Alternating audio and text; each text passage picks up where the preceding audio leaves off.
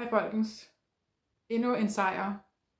Jeg har hørt fra Rynkeby, og de har oplyst mig om, at deres solbær light saft er udgået.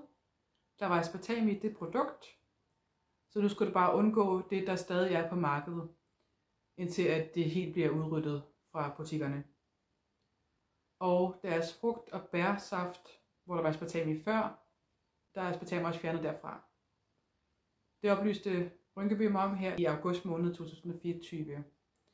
Og jeg afventer svar på, hvornår de egentlig helt går aspartamfri, og eventuelt også helt kunstig sødestoffri.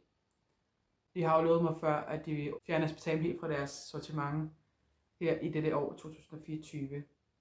Så lad os se, om de holder ord til sidst. Inden året om. Så det er jo en god nyhed, ikke?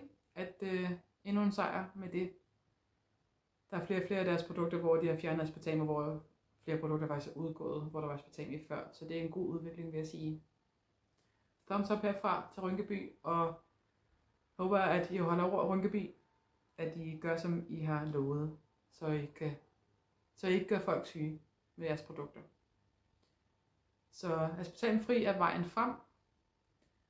Følg gerne med ind på Facebook-siden Oplysning om aspartam, eller læs mere ind på aspartam.dk, eller gå ind på YouTube på kanalen der, altså Oplysning om aspartam, og abonner gerne der for at se mine ugentlige videoer. Jeg laver jo ugentlige videoer der efterhånden. Det gør jeg i hvert fald hver uge. Så. Og del gerne videoen her, den gode nyhed. Vi ses i den næste video.